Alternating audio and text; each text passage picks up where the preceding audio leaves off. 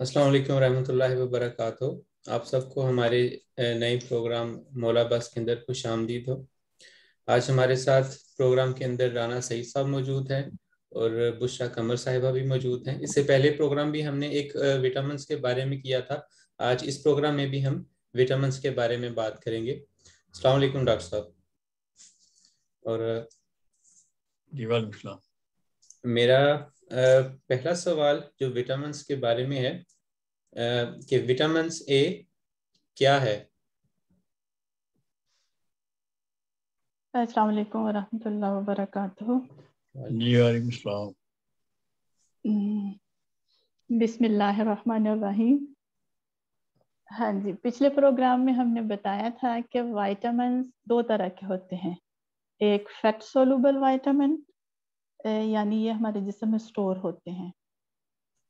और दूसरे water soluble vitamin ये हमारे जिसम में स्टोर नहीं होते और ना ही ये हमारे जिसम में बनते हैं।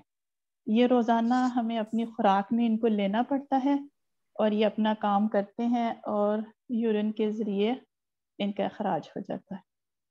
और जैसे कि वाइटामिन ए है, एक, ये एक फैट सोलूबल वाइटामिन है। ये हमारे जिसम में स्टोर होता है, हमारे लीवर में भी स्टोर होता है। ये विटामिन ए दो तरह के होते हैं, जो हमारे खानों में पाए जाते हैं। एक प्रो वाइटामिन ए और एक प्री वाइटामिन ए जो प्रो वाइटामिन है, जो पहले से बना हुआ है, जो कि एनिमल प्रोडक्ट में पाया जाता है, जैसे कि गोश्त मछली, दूध, मक्खन, अंडे वगैरह। इसका बेस्ट सोर्स है कोड लिवर ऑयल और प्री वाइटामिन ए है जो ये प्लांट में होता है। इसमें सबसे कॉमन होता है बीटा कैरोटीन जो फलों और सब्जियों में पाया जाता है। ये ऑरेंज और येलो रंग के फलों और सब्जियों में पाया जाता है। जितना कलर डार्क होगा, उसमें उतना ही बीटा कैरोटीन पाया जाएगा। ये पाया जाता है गाजर, शकरकंदी, खुबानी, ब्रोकोली, सोयाबीन और पालक वगैरह।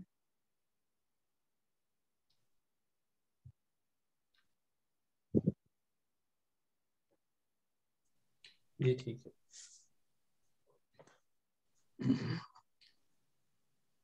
इससे अगला सवाल है कि विटामिन ए या विटामिन जो है वो ये लेने क्यों ज़रूरी है हमारे लिए? हाँ विटामिन ए की बात हो रही है तो विटामिन ए ही के बारे में बताऊँगी अभी। ये आ, ये क्यों ज़रूरी है? ये हमारी आँखों के लिए बहुत ज़रूरी है। इसकी कमी से एक बीमारी हो जाती है जिसे कहते हैं नाइट ब्लाइंडनेस कम रोशनी में नज़र नहीं आता, शाम के वक्त धुंधला नज़र आएगा।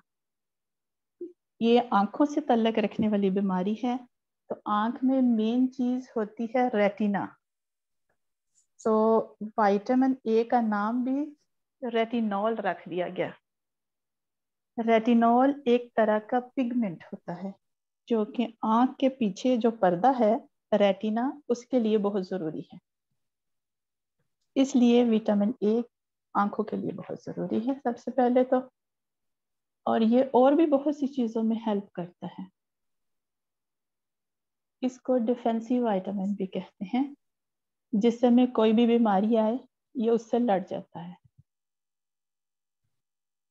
ये हमारे दांतों को, हड्डियों को और सॉफ्ट टिश्यूज को जिसम में जितने भी सॉफ्ट टिश्यूज हैं स्किन को मसल्स को म्यूकस मेम्ब्रेन यहाँ तक कि आपके मुँह के अंदर जो म्यूकस है, ये हेल्प करता है उनको बनने में और मेंटेन रखने में। बहुत अच्छा है प्रेगनेंसी और दूध पिलाने वाली माओ के लिए, लेकिन एक लिमिट में। इम्यून सिस्टम को रेगुलेट करता है, ये कैंसर से बचाने में मदद करता है। ये एंटीऑक्सीडेंट है। एंटीऑक्सीडेंट वो होते हैं जो अपने सेल को, बॉडी को प्रोटेक्ट करते हैं और फ्री रेडिकल डैमेज से बचाते हैं। वैसे ही जैसे जैसे ग्लूथामीन करता है, जैसे विटामिन सी करता है, वैसे ही बीटा कैरोटीन करता है। फ्री रेडिकल बहुत सी बीमारियों की वजह बनते हैं। जैसे कि sugar high blood pressure fatty liver वगैरह। ये जो फलों और सब्जियों में बीटा कैरोटीन है, ये फैट और कोलेस्ट्रॉल फ्राई होता है फ्री होता है, यानी इसमें नहीं होता। लेकिन आप इन चीज़ों को अगर फैट के साथ खाएँ तो ये अब्जॉर्ब होने में अच्छी तरह अब्जॉर्ब होंगे, क्योंकि ये एक फैट सोलेबल वाइटामिन है। इसीलिए हम जब सलाद वगैरह इसीलिए सलाद वगैरह में ओलिव ऑयल डाला जाता है ताकि वो अच्छी तरह से हजम हो सके। इसके ये फ़ायदे ठीक अब इसमें जो है आपने बताया कि इसके नुकसान क्या इसके डेफिशिएंसी हो तो तब उसके क्या नुकसान हैं और इसको इस्तेमाल करने के क्या हैं? अब अगला सवाल ये है कि इसको अगर ज़्यादा इस्तेमाल कर लिया जाए तो उसके क्या नुकसान हो सकता है? हाँ जी अगर इस डिफेंस यानी विटामिन ए की डेफिशिएंसी हो तो क्या होगा? यानी इसकी कमी हो जाए तो वो वो नहीं अभी मैंने बताया और मैं बताती हूँ। सबसे पहले नाइट ब्लाइंडनेस है कि वो बीमारी हो जाएगी और डेफिशिएंसी ज़्यादा हो तो नज़र ख़त्म हो सकती है। ये सबसे बड़ा नुकसान है वाइटामिन ए की डेफिशिएंसी का। स्किन ख़राब हो सकती है बहुत ज़्यादा ड्राई हो जाएगी खुश्क हो जाएगी। यहाँ तक के पपड़ियाँ बनने लगेंगी, सर पर, कमर पर और कील महासे, सख्त किस्म के महासे बनने लगेंगे जिल्द पर निशान पड़ जाएँगे। और अगर आपके जिस्म में बार बार इन्फेक्शन होता है, जैसे कि कान का इन्फेक्शन लीवर का इन्फेक्शन लंग्स का इन्फेक्शन साइनस इन्फेक्शन इसका मतलब है विटामिन ए का लेवल कम है। और अगर वाइटामिन ए ज़्यादा ले लिया जाए तो पॉइजनिंग हो सकती है। यानी ये जिन चीज़ों को फ़ायदा दे रहा है उन्हीं को उन्हीं के लिए ख़तरनाक हो सकता है। जैसे कि लीवर किडनी स्किन सबको डैमेज करेगा परमानेंट यानी मुस्तकिल बड़ा नुकसान हो सकता है। हमारी बॉडी में जो सेल होते हैं उनके ऊपर भी एक फैक्ट की तय होती है क्योंकि ये फैट सोलूबल है। इसलिए ये सेल में जाने की सलाहियत रखता है और फिर ये अपने आपके डीएनए तक पहुँच जाता है। इसलिए हमेशा अपने डॉक्टर के मशवरे से इस्तेमाल करना चाहिए। क्योंकि इसके नुकसान भी हो सकते जी, ठीक। अब अगला सवाल है कि प्रेगनेंसी में कौन कौन से विटामिन जो हैं वो इस्तेमाल करने चाहिए? प्रेगनेंसी के दौरान औरतों को कौन कौन से विटामिन लेने चाहिए? सबसे पहले है फोलिक एसिड। जो खातन प्रेगनेंसी प्लान कर रही होती हैं, उनको प्लानिंग से पहले तीन महीने इनको फोलिक एसिड शुरू करना चाहिए। और प्रेग्नेंट होने के 12 हफ़्ते यानी पहले तीन माह मुकम्मल होने तक फोलिक एसिड लेना चाहिए। वो खातन जिनमें पिछली प्रेगनेंसी में बच्चे के अंदर कोई दिमागी या स्पाइनल कोड की एबनोमेलिटी थी, जिसको इंग्लिश में कहते हैं न्यूरल ट्यूब डिफेक्ट ये सर और रीढ़ की हड्डी से पैदा होने वाली एक बीमारी है। या वो खातन जिनमें फैमिली हिस्ट्री है न्यूरल ट्यूब डिफेक्ट की। या वो खातन जिनको शुगर है, या हमल में शुगर हो जाती है। उनको फॉलिक एसिड ज़रूर लेना चाहिए। दूसरा है आयरन विटामिन बी ट्वेल्व ये हमारे जिस्म के लिए बहुत ज़रूरी है, क्योंकि आयरन से हीमोग्लोबिन बनता है, जो हमारे रेड सेल के लिए बहुत ज़रूरी है। और ये रेड सेल हमारे जिस्म में ऑक्सीजन मुहैया करते हैं। ये खून को पंप करता है और आपको और बच्चे को ऑक्सीजन फ्राहम करता है। फिर आता है ओमेगा दराए ये दिमाग और आँखों के लिए बहुत अच्छा है। फिर लेना चाहिए विटामिन डी कैल और कैल्शियम ये दोनों हड्डियों के नशो नुमा में मदद करते हैं और इम्यून सिस्टम को बेहतर बनाते हैं। फिर है आयोडीन ये आपके बच्चे के असाबी निज़ाम और दिमाग की नशो नुमा में मुआवन होता है। फिर आखिर पे है विटामिन के वो खातन जिनको प्रेगनेंसी में खारिश का मसला होता है जो कि हमल से मुंसलिक होता है इन खातन को आखिरी तीन माह में विटामिन के ज़रूर लेना चाहिए। ये उनके लिए उनके होने वाले बच्चे को आ, ब्लीडिंग डिस्कॉर्ड से बचाएगा। ये हड्डियों की नशो नुमा में भी मददगार होता है। आज आज के लिए इतना ही काफ़ी। जी शुक्रिया लेकिन आपने ये नहीं बताया कि वाइटामिन कौन से लेने चाहिए। वाइटामिन भी बेशुमार किस्म के मिलते हैं मार्केट में। होम्योपैथिक फॉर्म में भी विटामिन मिलते हैं और दूसरे टॉफियों की सूरत में भी गोलियों की सूरत में भी मिलते हैं। ये भी आप जाते जाते बता रहे हैं कि किन आपने किन और विटामिन पे तजर्बा किया और कौन से आपको ज़्यादा फ़ायदेमंद नज़र आए। ज़्यादा फ़ायदेमंद तो होम्योपैथ होम्योपैथ में जो वाइटामिन होते हैं वही ज़्यादा बेहतर है। और वैसे अगर खुराक से लिए जाएँ तो ये ज़्यादा बेहतर है। सबसे बेस्ट है अपनी खुराक रोजीना रोज़ाना जो आप खुराक लेते हैं उनमें आपको इनका ख्याल रखना चाहिए। ये चीज़ें वो वो चीज़ें खानी चाहिए जिनमें ये होते हैं। और सबसे बेस्ट वैसे तो होम्योपैथ। में आपसे बेहतर कौन जानता है?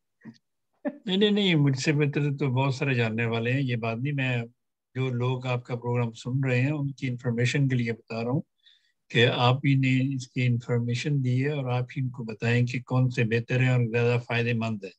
इनका नुकसान कोई नहीं है ना आपके बच्चे को नुकसान हो सकता है इससे ना आपके जिसम को। हाँ। तो एक आपने कहा कि जी इसके ज़्यादा खाने से मसलन विटामिन ए के बारे में आपने बताया कि इसके ज़्यादा खाने से नुकसान होता है। ज़्यादा खाने से क्या मुराद अगर आप हर इसमें एक लेवल होता है आपने डॉक्टर के मशवरे से खाना चाहिए ना ना ये ज़्यादा होना चाहिए ना ये कम होना चाहिए। कम होने से मैंने बताया आप ये कहना चाह रही हैं कि ना ये ज़्यादा होना चाहिए ना ये कम होना चाहिए। हाँ अपने डॉक्टर के आप आपका मतलब यह है कि आपने जो भी वाइटामिन शुरू करने हैं किसी माहिर होम्योपैथ से या किसी माहिर डॉक्टर से मशवरा करके दो प्रेगनेंसी के लिए आप विटामिन शुरू कर सकते हैं। जी, बिल्कुल बिल्कुल। उसके बगैर नहीं करने चाहिए। खास तौर पे वो वाइटामिन जो फैट सोलूबल होते हैं। क्योंकि फैट सोलूबल आपके जिस्म के अंदर स्टोर होते हैं और आपको नहीं पता कि आपके जिस्म के अंदर कितना स्टोर है। आप इससे, आपको नहीं पता ना। आप जब इसको चेक करवाएँगे डॉक्टर से, अपने खून के ज़रिए, जिस तरह भी वो लाबुआ में चेक होगा, फिर ही आपको अंदाज़ा होगा। अगर आप खुद से खाते हैं तो लाबुआ से चेक ज़रूर करवाना चाहिए। कि आपका लेवल ना ज़्यादा हो ना कम हो। कम होगा तो आपको डेफिशिएंसी होगी लैबोर से की मुराद लैबोर से क्या मुराद है लेबोरेटरी लेबोरेटरी से? लेबोरेटरी से भी और भी कुछ करना चाहती हैं तो आप कह सकती हैं। टाइम है अभी आपके पास। नहीं आज तक के आज के लिए इतना ही काफ़ी है। और ठीक है। देखने और सुनने वालों को मेरी तरफ़ से ईद उल अजहा की खुशियाँ बहुत बहुत मुबारक। अपना बहुत ख्याल रखें और अपने लिए मुस्कुराएँ और सार को दुआओं में याद रखें। मेरी तरफ़ से अल्लाह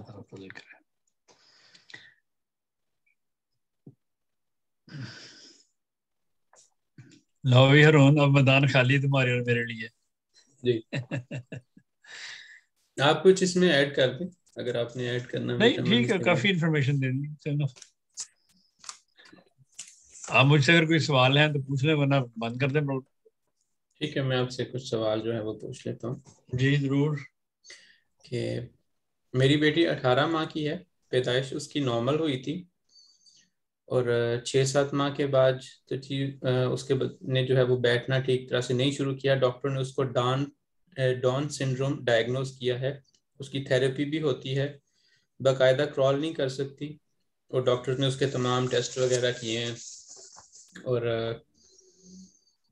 फिजियोथेरेपी भी, भी भी उसकी गालबन कुछ करते हैं।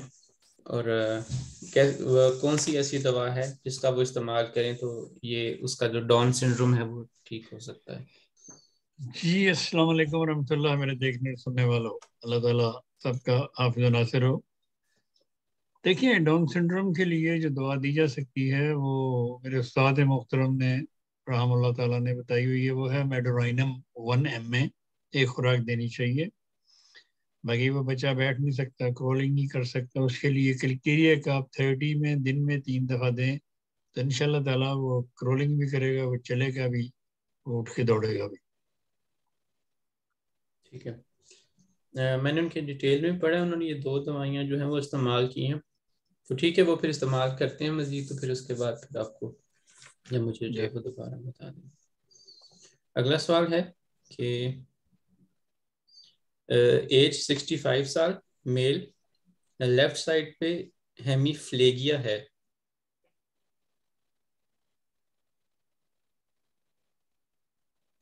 हाथ और टांगे जो हैं उनके अंदर जलने की सेंसेशन महसूस होती है।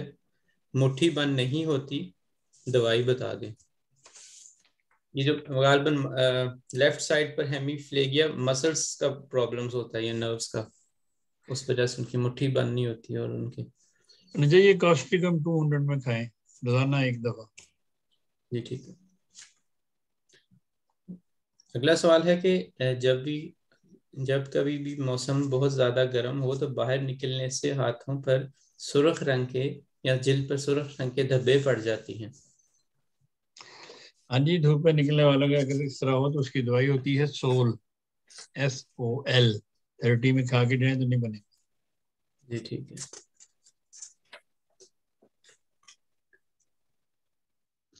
अगला सवाल है कि साइनसाइटिस का प्रॉब्लम है उसके लिए कोई दवाई बता दें। साइनसाइटिस के लिए बेशुमार दवाएँ हैं बेशुमार बार बताई भी गई हैं kali bich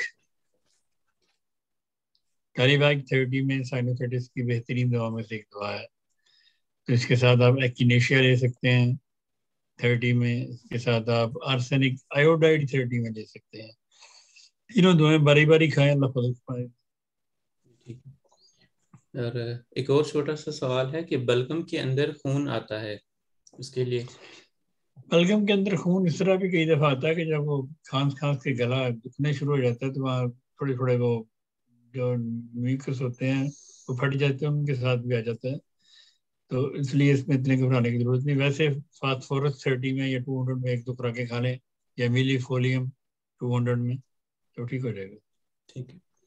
और एक और सवाल था कि एक शख्स से उनको हेपेटाइटिस सी का प्रॉब्लम है। अपने गालबन हेपेटाइटिस सी ही दवाई के नाम से मिलती है। हेपेटाइटिस सी उसकी पोटेंसी जो है वो पूछ रहे थे कि थर्टी या टू सौ दो टू हंड्रेड टू हंड्रेड और साथ के अंदर ये लीवर वाला नुस्खा भी इस्तेमाल कर सकते हैं फैटी लीवर का। नहीं नहीं वो फैट असल देखें असल में फैटी लीवर वाला ही नुस्खा है। अगर किसी को हेपेटाइटिस बी हो तो उस नुस्खे के साथ हेपेटाइटिस बी टू हंड्रेड इस्तेमाल करें। वीक में दो बार और अगर किसी को हेपेटाइटिस सी हो तो फिर वो हेपेटाइटिस सी फाइव हंड्रेड में वीक में दो बार इस्तेमाल करे उस नुस्खे के साथ। तो अल्लाह माशाल्लाह मैंने अल्लाह ताला की वजह से बहुत सारे लोगों को शिफा पाते देखा। इतने ही सवाल थे। अब अब बता दें कि अगला प्रोग्राम जो है वो भी विटामिन के बारे में होगा या किसी और टॉपिक के बारे में? ये आज का जो जुमे जो ये हम जुमे को करते हैं ना एक्चुअली तो प्रोग्राम जुमे को प्रोग्राम विटामिन के बारे में ही होगा। ठीक है। आइंदा जो कुछ प्रोग्राम विटामिन के बारे में चलेंगे फिर उसके बाद आ, कुछ और हार्मोन्स के बारे में चलेंगे।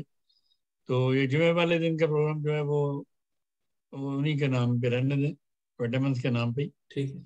तो हम कोई मम्मी का सवाल जवाब हुए तो हम कर लिया करेंगे। अगर और कोई कोई बात करनी हो तो कर ली। वैसे इतफाक से अब कल ईद है तो मेरे तमाम सुनने और देखने और जानने वालों को दिल की अथा गहराइयों से ईद मुबारक हो। बकरे की कुर्बानी के साथ दिल की कुर्बानी भी करें। अल्लाह ताला आप सब का खामिया नासर हो। आप सब पे अपने बेशुमार खुशियों बेशुमार खुशियों का सामान पैदा करे और बहुत बबरकत करे। गोश्त तो आपने रज के खाना है, ये तो मुझे पता है। इसके लिए अगर आप पपीता का इस्तेमाल करें तो आपके लिए बहुत फ़ायदेमंद हो सकता है।